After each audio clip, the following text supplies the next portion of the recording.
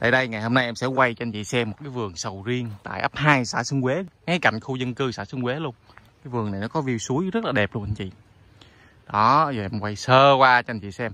Đó, rồi anh chị mình cố gắng mình theo dõi video clip này của em nha. Em sẽ quay từ đầu đường vô tới tơ suối ra tới hết xung quanh cái miếng đất này luôn. Đây là đường nhựa nè, đi vào một con đường bê tông nè, nè anh chị nè. Đó, đường bê tông này chạy vô, đường bê tông này 300 m là tới đất rồi đó đường nhựa này rất là to nè thấy không? Đó từ cây chỗ này đi vô trong đất mình là khoảng 300 mét là tới đất rồi. Đó.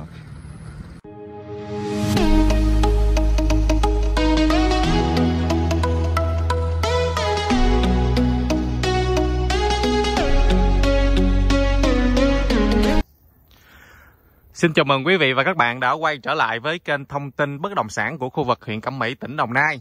À, rất vui là gặp lại quý vị và khách hàng, quý anh chị trong một video mới tiếp theo. Và quý vị mình đừng quên những nút đăng ký kênh phía bên dưới để theo dõi những video mới nhất mà kênh thông tin nhà đất huyện Cẩm Mỹ vừa mới cập nhật. Thì tiếp ngày hôm nay tiếp tục em sẽ đi review chia sẻ đến chị một cái vườn à, sầu riêng. À, sầu riêng Thái, sầu riêng đi 6 luôn nha anh chị nha. Đẹp tuyệt vời luôn. Đây là cái vườn sầu riêng này á là nằm vị trí là ấp 2, xã Xuân Quế, huyện Cẩm Mỹ, tỉnh Đồng Nai. À, ấp 2 xã Xuân Quế là nó nằm ngay chỗ gần khu dân cư uh, xã Xuân Quế. Có nghĩa là nằm ngay chỗ cái bìa à, khu dân cư mà ủy ban xã Xuân Quế đó ngay chỗ trung tâm á. Nói chung là trung tâm xã Xuân Quế. Đó. Có nghĩa là từ cái chỗ mà cụm khu dân cư của xã Xuân Quế mà đi tới cái miếng đất này nó khoảng cỡ à, một cây rưỡi. Khoảng à, một ngàn năm trăm mét. À, khoảng một cây rưỡi số thôi rất là gần. Đi sao để vào đây? Giờ đi thẳng ra đây nè đó đi thẳng ra đây. Đụng cái đường nhựa cái đường nhựa mà đi vô chỗ làng à, làng tre gì nhân đạo làng tre gì đó. đó từ đây ra đó xong rồi là đụng đường nhựa rẽ trái và đi ra ngoài trung tâm à, xã Xuân Quế. Nói chung đó là cái đường nói chung là đi vào đây cũng rất là dễ rất là thuận tiện luôn. Đây là đường bê tông này anh chị thấy không? Đây đường bê tông đường bê tông. Đường này là ô tô tránh xe máy. Đó nói chung ô tô tránh ô tô cũng được luôn nhưng mà nếp nếp vô lề xíu à, rồi đây là cái vườn sầu riêng trước mặt mình nè. Đó anh chị thấy không?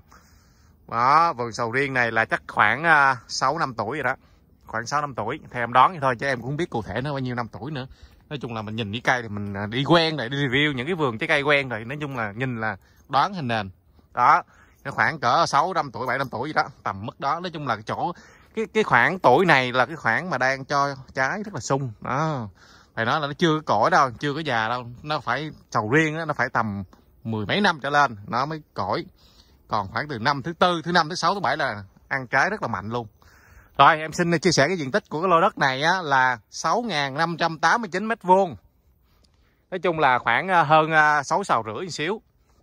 Đó à, cái giá bán á, là 850 sào nha quý vị rồi tám trăm rưỡi sao? Một sao là một ngàn mét vuông anh chị. Tại vì có một số anh chị không biết ngàn là bao nhiêu mét vuông nữa. Một số ở dưới miền tây thì gọi là một công còn ở, ở trên này ở đông nam bộ thì gọi là một sao còn ngoài bắc á thì một sào ngoài bắc hình như là ba trăm mấy hay là bảy trăm mấy mét vuông vậy đó. Nói chung còn ở đây là đông nam bộ là một sào là một ngàn mét vuông anh chị ha. Rồi giá bán là 850 triệu một sào. Mà à, công bố cho anh chị luôn. Khỏi thắc mắc. Rồi đây đường 4 mét ô tô vào tầng đất. Sầu riêng, thái, sầu riêng thi sáu luôn, hai loại. Rồi à, đang à, cho bông. Nói chung là hôm nay em quay đi review, đi quay buổi chiều nên nó hơi à, tối anh chị. Anh chị thông cảm ha, nên không có thấy rõ. Anh chị nào mình quan tâm lô đất này á, thì liên hệ cho em. Rồi xong rồi gọi điện thoại cho em qua số điện thoại là 0935 605 866 số điện thoại đó cũng là số Zalo luôn. Rồi em sẽ gửi cái thông tin của lô đất này vị trí nó nằm ở đâu cũng như là sổ sách rồi cũng như là hình dáng thửa đất nó như thế nào. Rồi tiếp tục em sẽ chia sẻ về mặt tiền ha. Mặt tiền lô đất này á, là khoảng à, à bao nhiêu mét em ơi? Anh quên mất rồi. 58 59 mét mặt tiền. Đó. 58 59 mét mặt tiền đường đường bê tông. Rồi giờ em sẽ chỉ ranh cho chị xem nha. Nói chung ở đây thì nó cũng dạng như là bị bìa khu dân cư nó cũng có cái mấy cái đám cao su nhưng mà đám cao su này nhỏ thôi chứ không có lớn. Đó nhìn nó hơi điều hiu một xíu nhưng mà ra kia xíu là dân cư rất là đông. Đây thì ranh giới nó nằm ngay chỗ này anh chị thấy không? Đó ngay cái uh, lưới B40 này nè. Nói chung á là cái miếng đất này á là họ rào lưới B40 xung quanh rồi là nói chung là khỏi sợ tranh chấp gì hết trơn á. Đó coi như là lưới B40 đó là coi như là mình giữ rẫy cũng như là làm chia cái cái ranh giới của lô đất luôn. Đó này đi lên đây thẳng lên trên đây lên đây cho anh chị xem nha. Nãy em chỉ ngay góc đó đó lên trên đây là nhiêu nãy quên nói nhiêu mét nha mặt tiền. 57 hả? 59 mét. 59 mét mặt tiền. Rồi chiều sâu là bao nhiêu em? Năm 59 mét mặt tiền. Chiều sâu là 100 uh, 110 mấy chứ. Nãy nói 110 mấy mà. 113 mét. Chiều sâu năm uh, còn mặt tiền là 59 mét nói chung á là cái này vấn đề chỉ số nó hơi sai số một xíu thì anh chị mình à, liên hệ với em để em có cái sổ á. Sau em gửi qua cho anh chị là biết được là chính xác nó nằm khoảng bao nhiêu. Nói chung mà nó cũng trên là chút xíu thôi chứ không có, không có trên lệch nhiều đâu. Đó này xuống dưới đây. Thanh giới nằm đây. Đây đây đây ngay chỗ góc này nè. Nói chung nằm dưới đó đó anh chị. Đó nó có cái hàng rào à, lưới b 40 nằm dưới đó đó đó qua cái, cái đám mít bên này là của người ta rồi nè. Đây qua đám mít bên này là của người ta rồi. Nói chung là tự nhiên cái chỗ này á là, là, là nguyên cái đám sầu riêng này là của nó rồi. Rồi bây giờ tiếp tục em đi xuống dưới uh, vô trong vườn để quay cho anh chị mình cùng xem nha. Rồi bây giờ á, là em sẽ đi vào bên trong để quay lô đất cho anh chị xem cái vườn sầu riêng luôn nha. Thì ờ, nói chung là giờ nó chiều tối rồi nên nó hơi tối anh chị thông cảm nha. Thì ở miếng đất này á, là ở phía sau nó có suối luôn view suối có nước rất là trong luôn. Bây giờ em đi vào, em quay cái vườn, xong rồi quay cái suối cho anh chị xem nha. Rồi, anh chị mình à, theo em nha. Đây, sầu riêng là đang à, cho bông nè anh chị nè. Đây, bông sầu riêng nè. Thấy anh chị thấy không? Đó, nó đang cho bông đó đó đó. Đây, mấy cái cành này mốt là trái, nó đầu với mấy cái cành này nè. Nói chung á là, cái này cái đám này nó ra bông nó cũng không đều nữa chung nói chung là cái vườn này kiểu giọng như cây thì đẹp đó nhưng mà biết sao à, họ chăm sóc họ cho ra hoa nó không có ra đồng loạt nữa. Nói chung nhìn cây thì đẹp nhưng mà bông thì tương đối là ít không nhiều. Nói chung là nó ra lác đác á chỗ nhiều chỗ chỗ ít. Như nè bông nè anh chị nè. Đó. Nói chung á là bây giờ cái miếng đất này á, nó hơi lài nha nó hơi dốc một chút. Kiểu dạng như là nó xuống suối á dốc dốc xuống suối á nói chung là cái độ dốc trên lệch thì cũng không nhiều đâu. Chắc dốc cỡ khoảng à, 25 độ thôi à. Tầm đó. Chứ cũng không nhiều. Nhưng mà nó dốc thì vậy thì nó cũng ok, tại vì à, nó dốc như vậy nó thoát nước tốt anh chị. Rồi nó đỡ bị ngập úng rồi này kia, mưa rồi này kia đó, rồi nó, nói chung đây mình có làm bồn hết rồi, không có sợ sói mòn gì hết trơn á. Nói chung là, đó, bây giờ đi giờ theo chân em, đi xuống dưới, coi cái suối nè, cái view suối nè. Đó, chỗ này bông nhiều nè đó. Ủa, ở đây có nhà luôn hả ta? À chắc nhà của chủ giờ. Vô là gặp chủ luôn nè anh chị nè. Đó. Vô gặp chủ là thương lượng trực tiếp là anh chị muốn trả giá sao? Trả trực tiếp với chủ luôn. Khỏi phải trả qua môi giới nữa. Đó. Đây đây, vườn sầu riêng đây. Đây, sau đây là nhà chủ nè à, à, anh ơi cho em uh, quay cái vườn xíu à, quảng cáo xíu anh cho, cho, cho em quay cái vườn xíu em nha à, dạ dạ vườn đẹp quá vô quay xíu cho mọi người chiêm ngưỡng.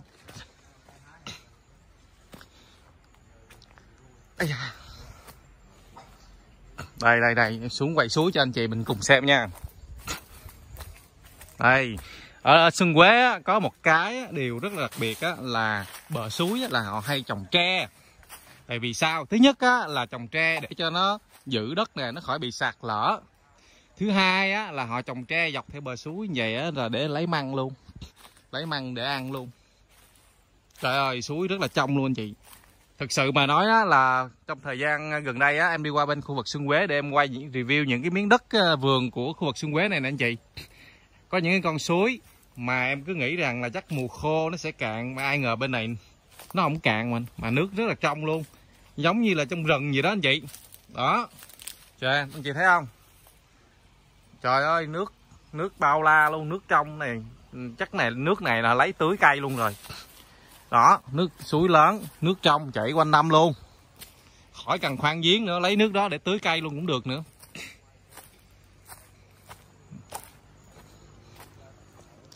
Đây đây. Đó, nói chung là nó cũng có dốc á, nhưng mà dốc cũng không nhiều. Chung ok cũng được. Đó anh chị mua về cái đầu làm cái nhà vườn rồi.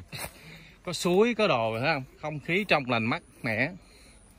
Đó ở đây á thì hiện tại thì nó đang là miền quê. Nhưng mà theo cái thông tin quy hoạch à, à, Xuân Quế với sông Nhạn á anh chị làm khu công nghiệp hết. Nói chung là cái vườn cao su sẽ cưa hết. Đó, khoảng ờ, ba ngàn mấy, gần bốn ngàn hecta vườn cao su của Xuân Quế sông Nhạn làm khu công nghiệp á.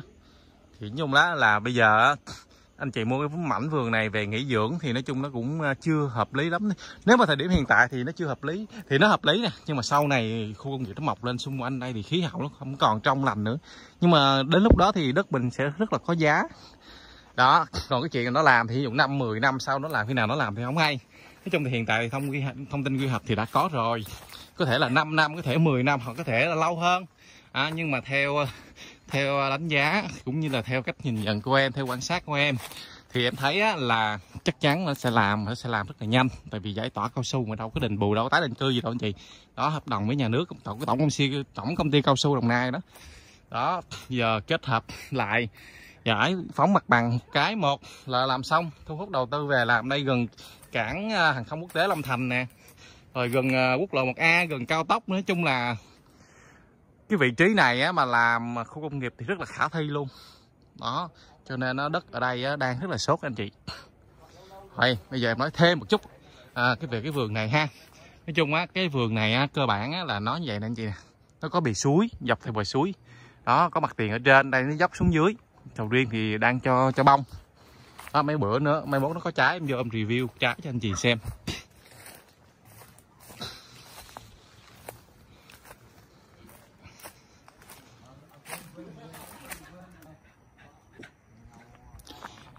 Đây là cái điện nè điện à, bắt từ ở ngoài vô trong đây. Nói chung là mấy tròi thôi đây là dạng như là cái tròi nhỏ để mà à, vô giữ vườn giữ rẫy canh tác đó thì anh chị thấy không? Đây. Sầu riêng quá đẹp luôn.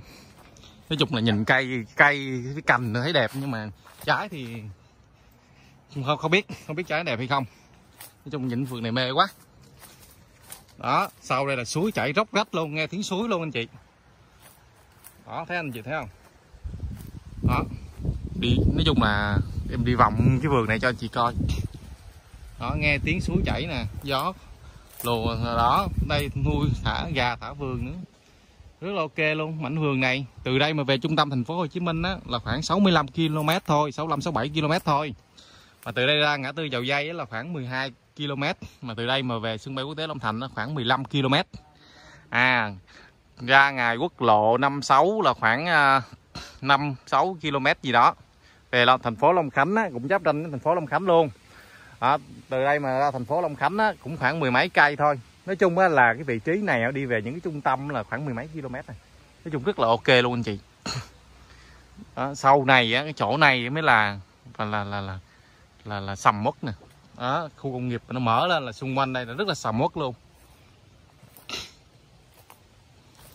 Đây là cạnh khu dân cư luôn. Cho nên á, là cái vấn đề mà mà bị dính quy hoạch là không có là anh chị mình yên tâm ha. Rất là một số ờ, người cứ sẽ sợ rằng là mua đất Xuân Quế sẽ bị dính quy hoạch trong khu công nghiệp. Nhưng mà ở đây là đất chỗ này nó không có bằng phẳng nha bì suối là không bị dính khu công nghiệp nha. Với lại đây là bìa khu dân cư. Ở ngoài đó là trung tâm uh, dân cư của xã Xuân Quế đó anh chị. Nên anh chị mình yên tâm không bao giờ mà dính khu công nghiệp đâu. Mua đất mà bìa ngay chỗ khu dân cư là, là ok. Khỏi sợ. Đó mua ở những bìa cao su mà xa xa đó, thì hà may đâu thì sợ dính vô quy hoạch khu công nghiệp. Còn đây là yên tâm về vấn đề đó. Rồi cơ bản là cái vườn này chỉ là vậy thôi anh chị ha.